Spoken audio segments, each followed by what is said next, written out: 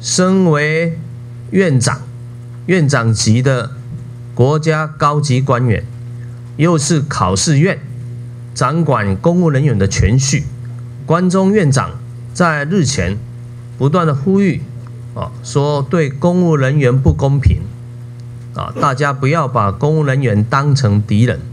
但是今天我们发现，像所指控的，他提早下班，在上班时间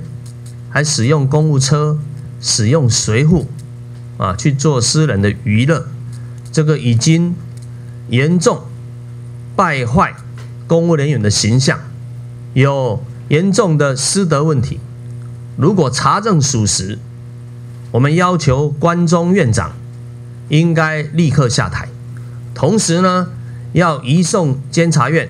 就他的责任以及司法单位来一并调查。一个考试院的院长啊，平常呢啊道貌岸然，平常呢啊负起啊维护公务人员、替公务人员来辩护、掌管公务人员权序的考试院院长，今天发现他涉嫌有如此败坏师德。滥用公家权力的事情，我们希望应该尽速查明清楚。如果是冤枉的，